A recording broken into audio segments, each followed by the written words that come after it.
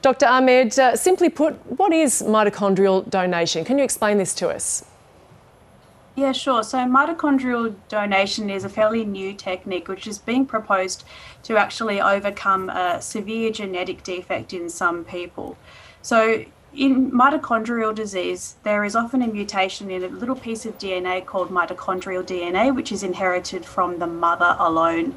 And it's a little piece of DNA which doesn't actually control any of our personal characteristics like our hair or eye color or our intelligence or personality. It's just to control some of the functioning of the mitochondria, which are like the batteries in the cell.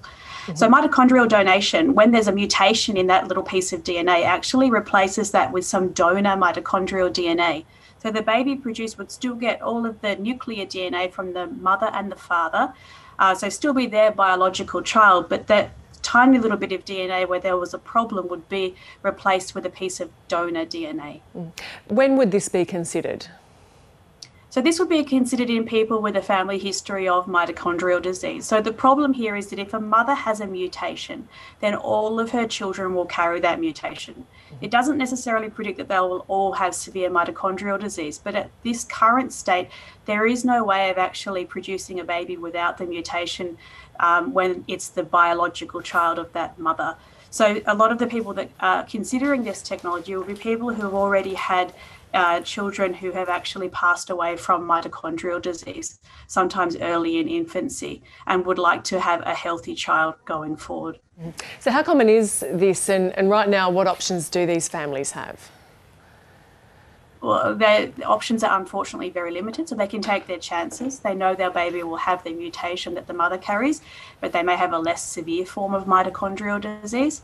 They can use an egg donor, but then in that case, the baby would have the nuclear DNA of the donor, not the mother, so it would not be the mother's biological child. Um, or they can choose not to have any further children.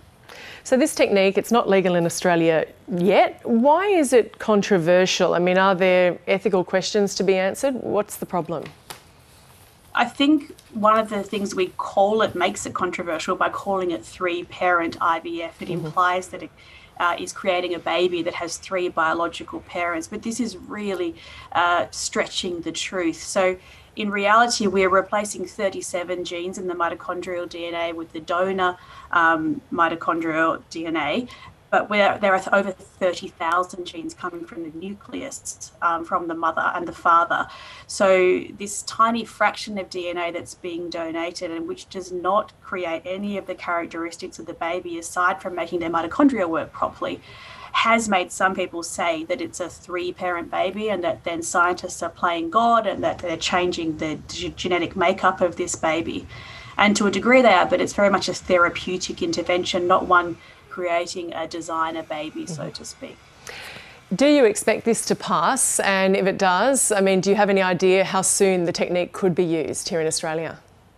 Uh, I'm very hopeful that it will pass. I think that there's been good support from all sides of politics, recognising the the severe suffering that mitochondrial disease patients and their parents actually go through um, and the potential to alleviate that suffering. Um, so I'm hopeful, but nothing is over until it's actually gone through. And then as to when it can start up, it would initially be done on a trial basis, and I'm sure that it will take time to actually become available. Um, but there are people out there who are ready and waiting mm. to go.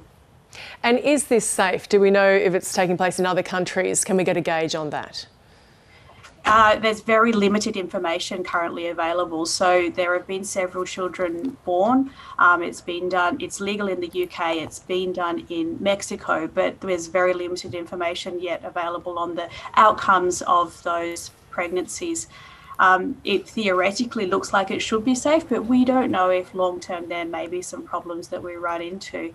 Um, the fact is that the families that want to utilize this technology don't have any other option, and uh, understanding that there may be at the moment a dearth of information available.